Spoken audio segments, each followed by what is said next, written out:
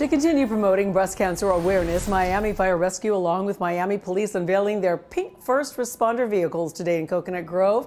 These beautiful vehicles were designed by renowned artist Romero Britto and will be on display outside Miami City Hall. They are really a work of art.